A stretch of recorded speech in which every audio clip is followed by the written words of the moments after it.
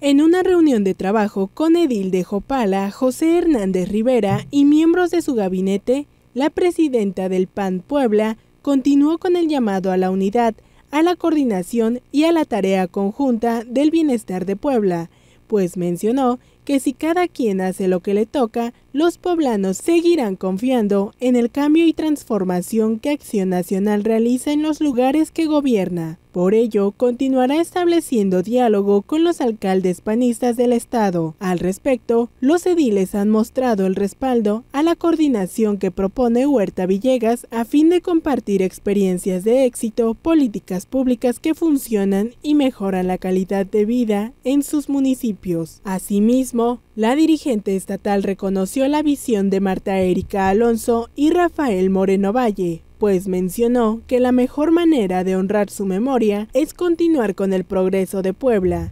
Finalmente, Genoveva Huerta deseó a los alcaldes un año de logros, progreso y unidad, así como de reconciliación, tranquilidad y paz para el Estado.